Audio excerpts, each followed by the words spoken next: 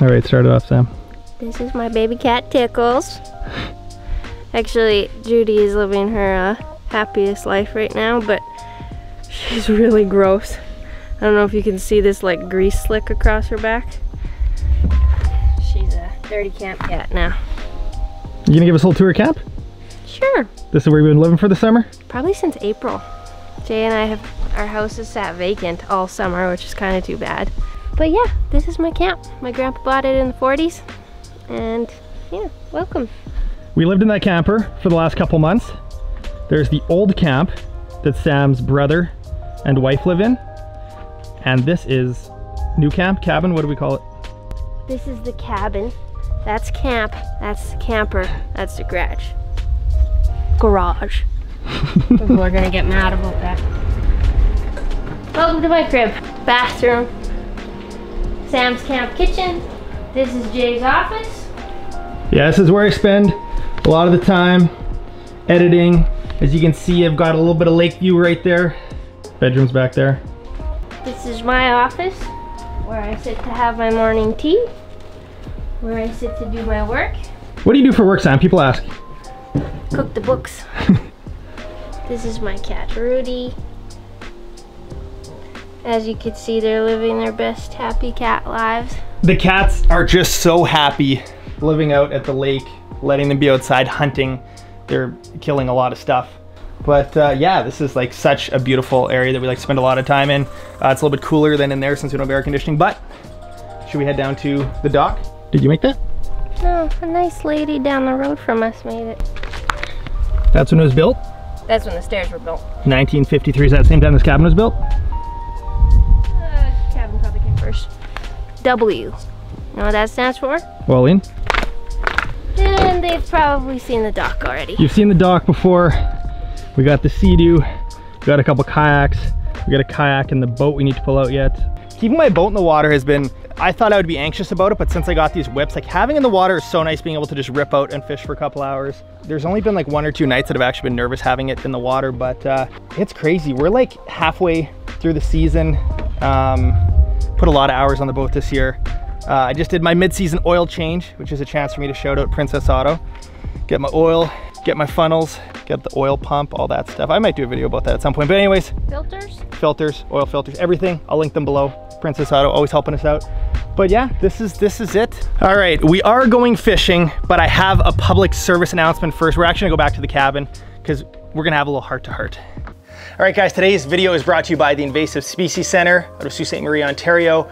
And uh, we're talking about grass carp, part of the Asian carp family, and they are invasive. You might be like, Jay, you live in Kenora, that has nothing to do with you, you know, why are you talking about it? But it does have to do with me, but instead of reading off a bunch of facts, which I'm, I'm gonna read off some facts yet, I wanted to talk to someone who's actually had, uh, you know, a run-in with grass carp and that have actually had them negatively affect their fisheries because up in, you know, Kenora, we don't, we're not really dealing with grass carp yet. Hopefully we never have to. They're starting to get, you know, into the Great Lakes, lake areas where they've shown up a couple times. But I got my buddy Tyler Anderson, Tyler's Reel Fishing. You should definitely check out his YouTube channel. He's an amazing teacher, does a lot of bass videos. He's uploading all the time. But anyways, I'll, I'll link him below, but I wanna give him a little FaceTime call because he is someone who's actually experienced firsthand the effects of grass carp. So we'll see if he actually, if he picks up his phone. We kind of didn't really plan this. Hello. Hello, we'll try this one more time. Okay. Tyler Anderson. Hello. How's it going, everybody? Uh, good. I, th- I think they're doing good, guys. Uh, we got Mr. Tyler Anderson, Tyler's Reel Fishing. Okay, I'm gonna keep this quick because our service is probably bad and you're out catching monsters. Nah, not yet. So I need to talk about grass carp and you know how they're bad. Obviously, they're not in Lake of the Woods yet, but when they when they approached me about talking about grass carp in the Invasive Species Center, I was just like, man, I remember you telling me about grass carp in your home lake, and you're the only person I know that had a firsthand experience. Like, what what did grass carp do to you? So, of course, I, I I'm not going to claim to be a biologist. Um, I claim to be a fisherman, and so I can only tell what lakes were like, and then what they were not like, and what the effect grass carp had on them. I grew up on a lake called Lake Austin. It was hydrilla heaven. I mean, more hydrilla than you even knew what to do with. And at times, when I would grow up not being a fisherman, as a wakeboarder and a, and a surfer and a tuber, I would hate the grass because, oh, the weeds get in my feet, whatever. But as soon as I got into fishing around middle school, I realized what a vast heaven this place is. And sadly, over the years, the grass kind of got too much that the city of Austin, Austin, Texas, tried to um, mitigate it by they had these big boats that would kind of churn the grass and uh, and kind of collect it, but they could never contain it fully. And sadly, they put in what they they claim is like something like seventy five thousand grass carp. True, they ate every shred of native and invasive grass in the entire lake, and it went from being the number eight lake on the Bassmaster list in the country to being not even close to the top one thousand. I mean, it's, Wow. a, it's a trash hole now. Wow. So, okay, moral of the story, you wouldn't recommend having grass carp in your lake? No. Uh, if if the if the fish in your body of water are dependent on grass and the ecosystem is, Yeah. if you want to control it, there's better ways of controlling it, in my opinion, than just uh, putting in a species that can spread and eradicate quicker than uh, than flies on rice. Man, that's crazy. Okay, well, that you, you answered my question and then some. Thank you very much. Uh, once again, thanks to Tyler. But yeah, uh, I got some facts here about about grass carp. And listen to this: a grass carp can eat up to 40% of their body weight and reach up to five feet long and more than 80 pounds in weight. So that's like, if it's an 80 pound fish, that's a lot of weeds. But basically, they're starting to show up in Lake Erie and the fear is that they spread into all the Great Lakes and, and beyond that. So I'm gonna have some links below on you know what to do if you think you caught a grass carp, um, what to do with it. You shouldn't be releasing them. But one other thing I want to list off is there's a list here that I got sent, and these are native species that would experience high to moderate impacts if grass carp were in their in their lake, in their water body. Listen to this.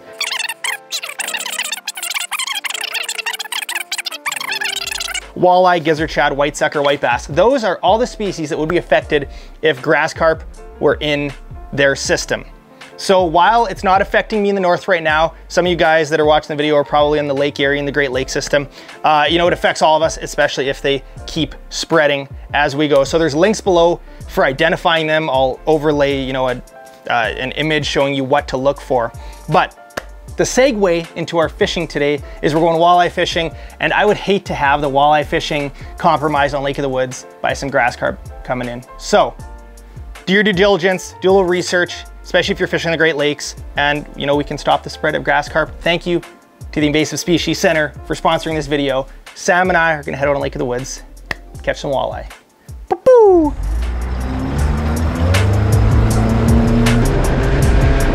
All right, grab the weapon. There's one bait caster in there. What are we doing today, Sam? Trying to catch some walleyes. How? Bottom bouncing. Oh, nice. Something we don't usually do. Exactly. As Sam said, we're bottom bouncing and I, I don't bottom bounce on, on, on the channel very much. I haven't done many bottom bouncing videos and there's a reason for it. It is boring. It is a very boring way to fish. Um, you're trolling. You're trolling at a very slow speed. I have a question. Yes, Why are we doing it? We are doing it because it is technique that's great when the fish are scattered, when the fish are tough, and like a tournament technique. I weighed in a bunch of my tournament fish uh, over the years, bottom bouncing with spinners because it is so effective. And sometimes you gotta do what's most effective. Other times when I'm fishing with lots of people on the boat, you know, jigs and leeches is great. You can have four or five people on the boat. Trolling gets a little more complicated. So for this, I don't really like more than two or three people doing in the boat, but it's just, it's, it's a good way when the fish are scattered. We're gonna be fishing a main lake hump today. It's a pretty big spot and I think the fish are gonna be kind of placed all throughout it. So rather than, you know, driving around trying to drop on fish, move, drop on fish, move, we're gonna keep our lines in the entire time. I think it's a technique that everyone should know how to do. And yeah, it's not something I do a lot. All right, so the first thing you need for bottom bouncing is a bottom bouncer. I like to use heavier ones. A lot of the ones you'll see at your, like at the local corner tackle store are often lighter ones, but I like an ounce and a half to three ounce. My goal when I'm bottom bouncing is not to get my bottom bouncer way behind the boat. It's to stay vertical because when you stay vertical, this little wire is dragging on the ground, dragging on the, on the bottom of the lake right like this. And then your bait, which we'll talk about the different options, is hanging, you know, a foot off the bottom. So it's a great way to keep your bait off the bottom. It's almost like drop shotting. I mean, the weight's on the bottom and your lure is perfectly above in the strike zone. So it's such a good technique for driving around. So we got bottom bouncers. Next is what you put behind it. Uh, I'll show you some close-ups once we have them rigged, but uh, these are spinners. So it's, it's often a blade. There's obviously a bunch of different types of blades you can use. Hook configurations for using leeches or minnows or crawlers. Um, I'll show you those once you get them tied on. But there's some other options. You can use a small little hook called slow death, which is a, a, very good finesse technique. It's a hook with a little bend in it. I'll, I'll inset a shot. And some people have had great success bottom bouncing just one of those slow death hooks with a little chunk of nightcrawler. Or you can go to the big end of the spectrum and you can, you know, troll a big floating Rapala or a big crankbait behind it, which is another great way to get maybe a shallower diving crankbait right in front of their face. Today, we're gonna keep it basic. We're gonna use some spinners, we're gonna use some crawlers, and uh, hopefully catch some walleyes. All right, guys, so as far as rods for bottom bouncers, you want something softer. You don't want a, a stiff pool cue because it's a small hook. The bites are pretty light. Sometimes they're, they're tough to feel. So I'm using like a more moderate rod, which means it, it bends more in the middle. It's not just the tip that's bending, it's more down the middle. Um, and then as far as line goes, I'm going, I'm going with heavier braid, like 20, 30 pound braid because you're not gonna spook the fish. And if you get snagged, whatever, like you're gonna have a lighter leader section on your spinner, obviously, but your main line doesn't need to be light um, because that weight is gonna bring it down. It won't, uh, it won't affect it too much if your line's a little bit thicker. But I'll show you the rigging I like to do here. So these clevises are like a, a quick release clevis. So if I wanna ever change weights, I can actually just snap that weight off like that, and then you just have the clevis. And the nice thing is when you're traveling as well, then you can take the weight off. It doesn't bounce around in your rod locker. Here's a rod I have rigged up ready. Right here at my swivel, you can see I have my quick release snap, and then a chunk of fluorocarbon, which then is the business end right there. There you've got just a hammered gold blade, a couple beads, and an octopus hook, which we're gonna put some crawler on. Um, I know a lot of rigs have two hooks, depending on what you wanna do. This is what I got rigged on, this we're gonna use for now. We're gonna snap this back on. So as you can see, now the bottom bouncer's hooked up. If we ever need to switch it, we can pop it off if we feel we need a heavier one. And there you go, we got one rod ready to go. As for bait, we got some crawlers. This is probably my first time using night crawlers this summer. They don't look great, but they're still alive and that's the important part. Uh, you definitely don't need to use a full crawler, you can. Pretty straightforward. Sometimes I like to thread it onto the hook a little bit. A, a longer night crawler might be nice to have two hooks, but even something like that, it's gonna be fine. The walleye's gonna eat the whole thing. All right, we're gonna get the camera on the front easy cam post and we're gonna start trolling. Um, I'll talk about speeds and all that stuff as we go. Uh, very handy. This is where like a trolling motor with remote comes in, comes in handy. Obviously, you can do it with the big motor. Um, the speeds are sometimes tough to achieve um, going forward, so you could back troll this route. So that, that's another option you don't have a trolling motor. I'll show you guys that as well. But first we're gonna start off with the trolling motor. But uh, here we go, Lake of the Woods walleyes. Okay, you can drop down till you hit bottom. Okay, I hit bottom. Okay, and then you kind of just want to keep yourself hitting bottom, you know, as as little as possible. You want to be touching bottom. You don't want to be like just dragging in the mud. So ideal speed for bottom bouncing, um, I think is like, you know, around 0.7 to 1.2, somewhere in there, but definitely on the slower side, definitely slower than crankbaits. And that's why, you know, with the remote, it's really nice to dial in um, exactly, you know, what you want. There's a setting called cruise control. Nope. the next thing we'll talk about is hook setting. Um, with these heavy weights and the small hooks, you really don't need to do much of a hook set. You're pretty much just gonna reel into it once, once that fish is there, but. You got a fish? Sam's hooked up. It looks very small. You bring it in. Show the camera your catch.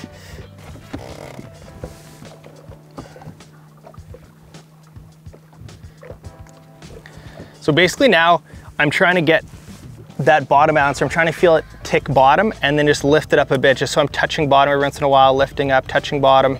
Because you can definitely snag these bottom bouncers, especially at this at this slow pace. So right now, you know, my bottom bouncer isn't straight vertical. It's probably at, you know, 45 behind the boat, but this is such a good technique when you're fishing big spots. When I'm fishing a small spot, obviously like drop shotting, jigging, something something vertical uh, is, is fantastic.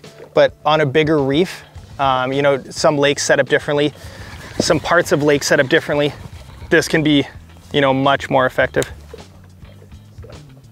There we go. One's got a little more weight. Yeah, so it's not a crazy hook set. It's kind of just trying to sweep into it and that's a nice walleye. This guy is gonna get released into some catch and cook spicy, if I were to guess. Perfect. Kiss? Just no a kiss. just Oh, he opened his mouth. just one Back, for the camera. back. There we go. Mm, I think I'm okay right now. Like I said, this is not exciting, but it puts, puts so many fish in the boat. Two walleye Jay, one perch Sam. Fish? Nice. I got one too. Uh-oh. It's okay. I'm good. I'm good. I'm good. I'm good. Listen to my words.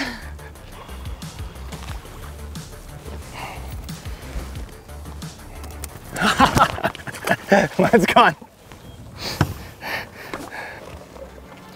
Holy smokes. That was instant. Our line down versus fish caught ratio is pretty good. I got one too, I think, or I'm, oh, I'm tangled, never mind. You got one? Wow. All right. Option number one, using the trolling motor. It works great. Option number two is back trolling, and that's what tillers are so great for. Uh, if you are gonna back troll, having wave whackers, these plexiglass pieces that I have on my boat are essential. I'll, I'll link them below, but yeah, it, otherwise, also great for advertising. and great to put stickers on.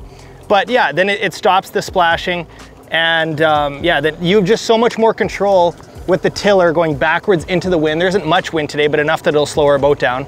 If you try to go nose into the wind, you'll just have no control. That wind will blow your nose all over the place. That's why back trolling is such such an effective way to to back to back troll. That's why back trolling is so effective for back trolling for for uh, bottom bouncing. Got him. Ooh, that's a little bit nicer.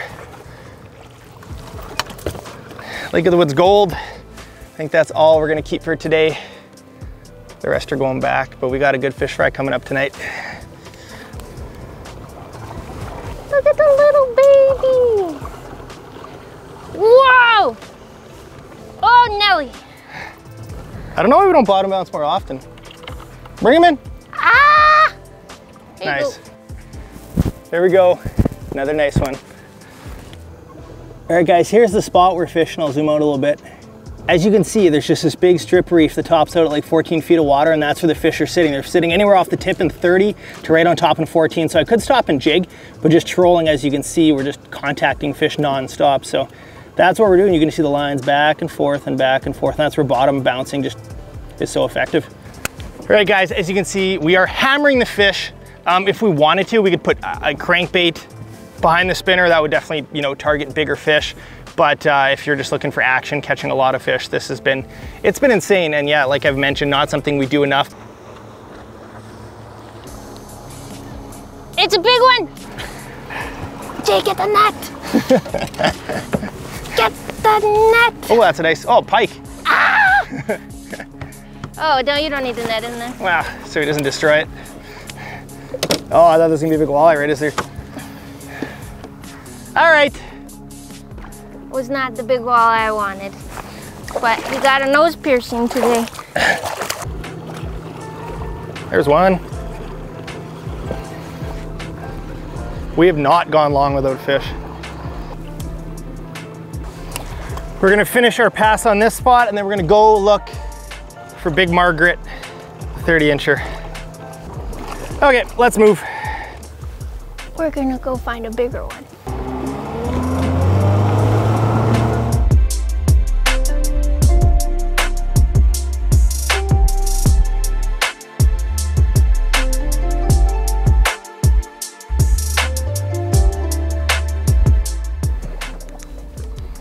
Well, we're back, spot number two, looking for something a little bigger.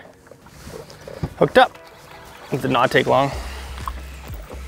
There are so many walleyes this size on Lake of the Woods. Okay, it's tiny. Show some excitement for the viewers at home. Ah! Ooh, Oh, oh, oh. Not a jumbo, but they're snapping nonstop. Oh, I'm on. Well, that's a nice one. Jane Sam's walleye adventures. Oh, he pooped all over my hand. Wow. Doubled up.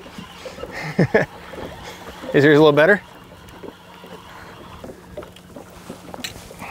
Get the net. Get the net? It's a smallmouth.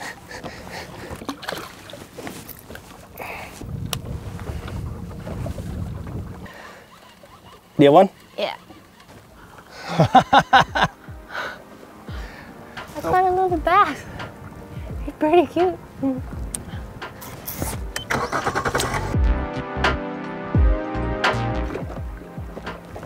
She's on? Nice. That's pulling a bit. Oh, I got one too. Okay, you stand up. Nice. All right, I think we're ending it with this double header. Is yours still on? Yep. Your fish is bigger this time. There you go, ending it off with a double header. Mine's a little more impressive this time. Guys, the basics of bottom bouncing, get a soft rod, more of a moderate action. And that being said, don't let your gear stop you from doing it. If you just have a stiffer spinning rod, use it. It'll be fine, it'll still work.